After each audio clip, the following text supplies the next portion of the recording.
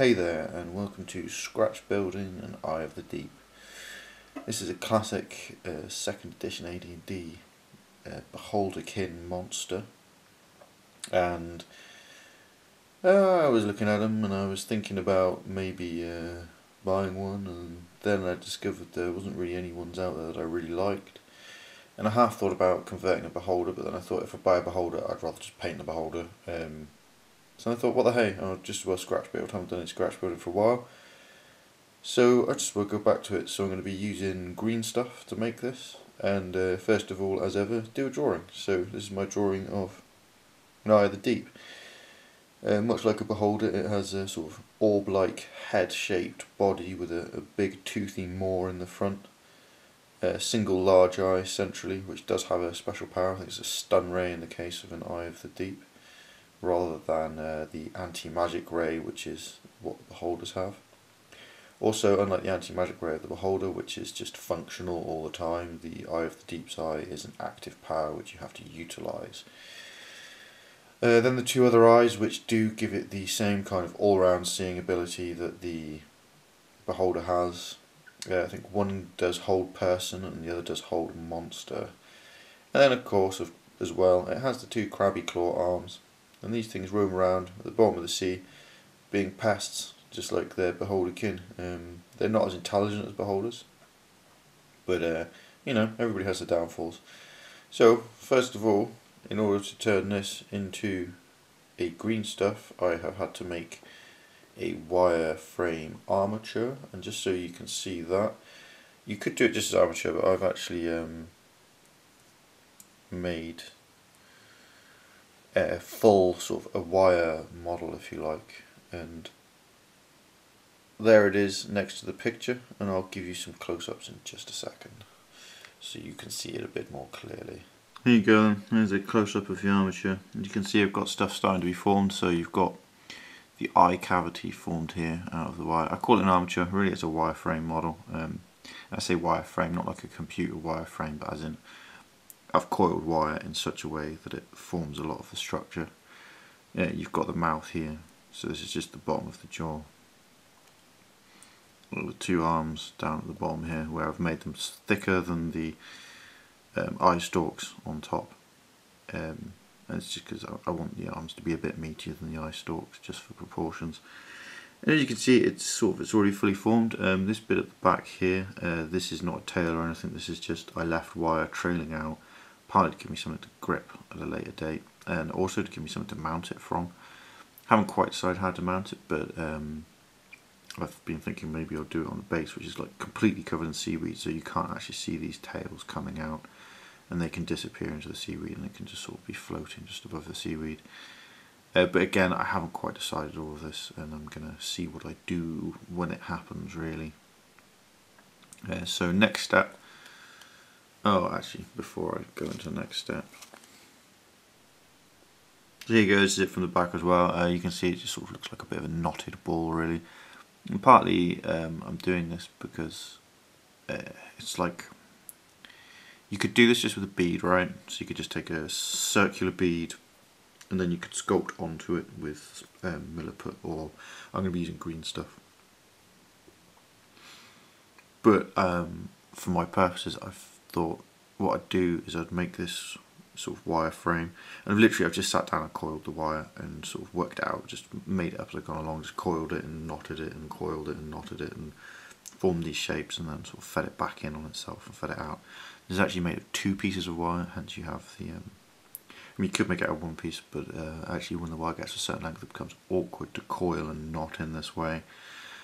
So the next step then is to cover this in green stuff and sort of form the initial structure. When doing this phase, part of it will be like, um, I'll put the big central eye in as a piece and I'll start giving the form. So always try and lay up so if you have sort of things like eyes, put them in first so that when you put in additional layers over the top, it naturally falls over the top of it so you start forming eyelids without even kind of trying.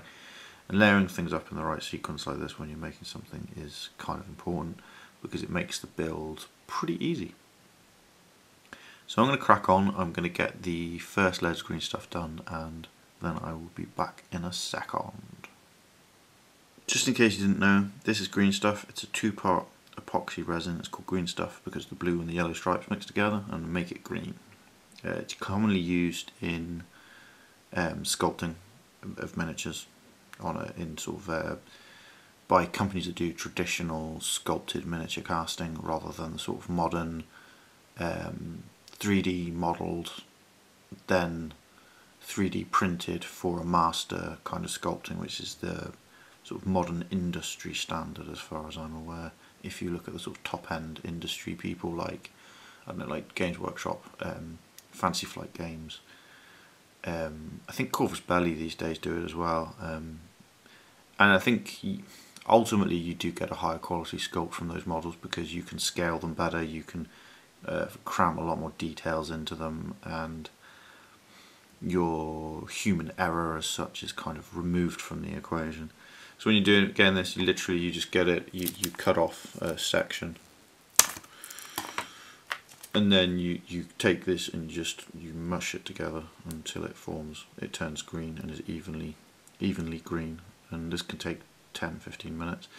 Uh, it dries pretty quickly um, well it kind of sets to a state where you don't want to be playing with it anymore in about probably half an hour but it takes a few hours to actually cement properly so that when you touch it it doesn't get marked. Also when you're doing this um, you need a set of tools which are like dentist tools and I do have a set sculling about which I'll be using in this sculpting process. And I'll, I'll show you them at a later point but in the meantime I'm just going to get this mixed and the first layer put on I'll just put on very thin uh, cover the frame and that'll give me the, the sort of the core structure as such for the Mini. So Catch-U Enemo here you have it then. Here's the initial um, sculpt. Oh it's not really a sculpt. It's um, Sculpting is normally removing by the way, uh, so if this is a sculpture it is something that's had stuff removed from it, so a block of stone which has stone removed, that is a sculpture, whereas a model is where you add stuff on. So this is a model really, because I'm using a modelling process where I'm adding green stuff onto the surface. Um, at some point there might be some sculpting involved, um, we shall see though, uh, but this is just literally get the green stuff on, um, form most of it, uh, you can see that I've smoothed out the eye, big central eye so that will be the eye. Um, but as I add layers on of the epoxy then um, I'll sort of part cover that to create eyelids. Um, and I will fold the eyelids back over the scales maybe sculpt them. There'll be a little bit of sculpting involved. And just if you aren't aware if you ever do use green stuff um, a lubricant in terms of stopping your tools from sticking to it is um, water or saliva. I actually find saliva better because it's more viscous um, and I don't really mind sticking my tools in my mouth but I can't recommend doing this because it's epoxy. Don't put epoxy in your mouth, not very clever, highly toxic. You might notice that the jaw is being left with the bottom open so you can see straight through the bottom of the jaw and there's the odd bit of wire that you can still see but I'm not really fussed about that. When the epoxy sets it will go rigid and that will give me the actual work surface. Um, the googly eyes um, that make it look, well, almost cute, almost, do we think it looks almost cute? Maybe, that's up to you. Um, they've also been smoothed out so that again I can do the sort of eyelid effector over the top of them and build up over the top. I don't want anything to get too much chunkier than this um, but there'll probably be a little bit of extra chunkiness as I work in more layers of uh, the green stuff. Uh, this left score, left score, left claw, left claw is trying to droop a bit um, and I'll fiddle with that a little bit whilst it's drying and trying. I'll probably even get something and try and prop it up a little bit so I find something which is the right height for the tip of the claw, put it underneath the tip of the claw and that'll prop it up. Um, and the claws at the moment they're just literally a very rough shaping of the green stuff um, just in order to give the sort of underlayer as such from which I can build the claws off, off properly.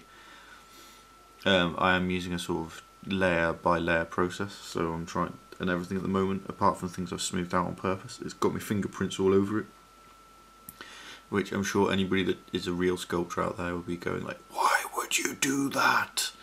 Um, but I'm not a real sculptor, so it's fine. And the reason I'm actually don't mind doing that at the moment, and I've only smoothed out the eyes, is because my fingerprints will actually give a bit more grip to any green stuff that I put over the top. So I'm going to have to leave this now, uh, leave it overnight to dry. Um, there are methods of doing this um, where I've seen people talk about making green stuff ovens where you get like a coffee tin, a metal coffee tin, and you get like a, an angle, a standard lamp basically, or not a standard lamp, it would have to be an Anglepoise. Um, and you actually cut the. I mean, I think I've seen them where people actually have holes in them, so you can just put them in and take them out. But you then put the lamp light right down over the top of the um, coffee tin, and it's just enough heat to set the epoxy very quickly. So you can set it in like 20 minutes, I think they said, to full set. But I'm just going to leave this overnight, and I will crack on with it uh, the next day. So this is going to be a bit of a long, very long-winded for me and very rapid for you kind of a video. Uh, so just so you do know though, if you are ever thinking about doing this, yeah, you can sit down and make the wireframe. You can then sort of layer up um, green stuff in the kind of way I'm doing, or milliput, or whatever takes your fancy. I like green stuff because uh, it has an elasticity to it, whereas milliput behaves more like clay, where it kind of tends to tear. Um, but uh, different people say different things for different reasons. I've never used brown stuff either, and apparently brown stuff is really great for certain things as well. But again, I'm not really enough of a sculptor to be able to inform you about that. So yeah, I'm to leave this to dry overnight, and I will be next phasing this tomorrow. So I hope this has been of some use to you. You found it interesting, and that you're making awesome models, and that this is somehow helping you to make awesome models. Next part coming very, very soon. Cheers, everybody. Have a good one and take care. Bye bye.